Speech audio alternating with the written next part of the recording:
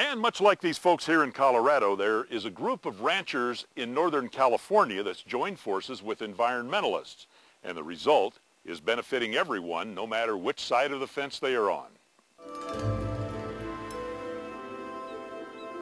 In the high mountain meadows above California's Sacramento Valley, a quiet revolution is taking place. When local ranchers Scott and Patty Thompson walk through this part of their property today, they barely recognize it from just a couple of years ago. Remember how that channel that used to be right there was probably... All along Red Clover Creek, on the Upper Feather River watershed, the sagebrush is giving way to willows and running water. For the most part, up until that the line of willows there, this whole thing was solid sagebrush. It's 100% different. It's, it's completely different from the old days.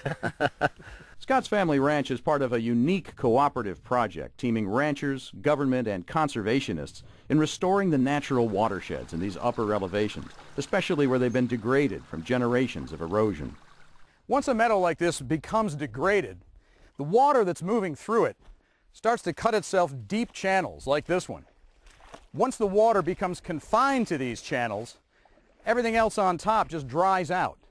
And then you're left with more or less a sagebrush prairie, which isn't much good for grazing or anything else. But using a method called pond and plug, the local watershed management group came in, with Scott's permission, and restored the original hydrology of these meadows, reviving what they call the remnant channels and raising the water table back to the meadow's surface. Immediately we see the improvement of, of forage and vegetation. Better forage means beefier cattle and a better price for Scott's Black Angus beef.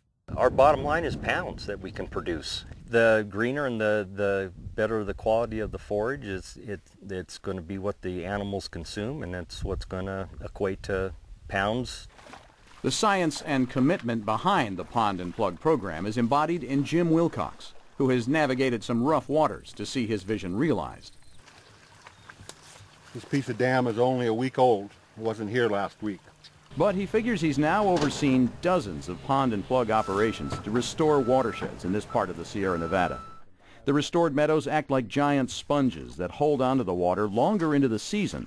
The whole valley begins to green up, and wildlife, long since vanished, begins to move back in.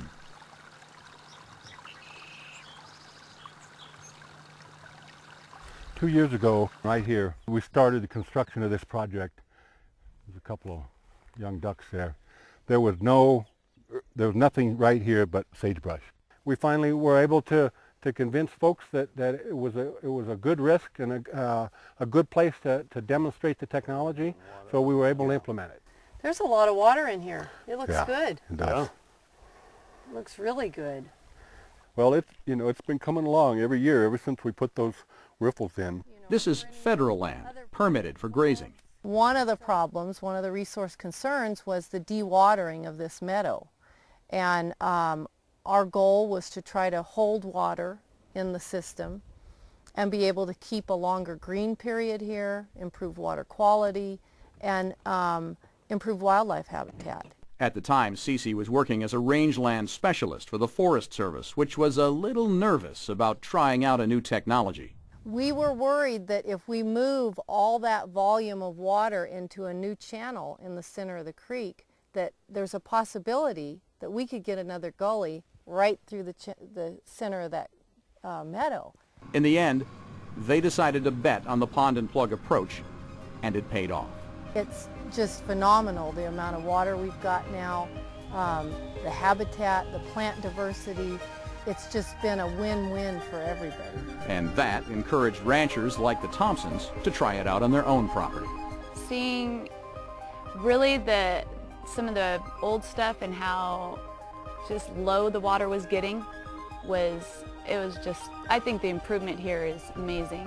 I think it's going to benefit everything up there, which is our goal, you know. It's a beautiful area and it, that's the way we want to keep it. We want to preserve that.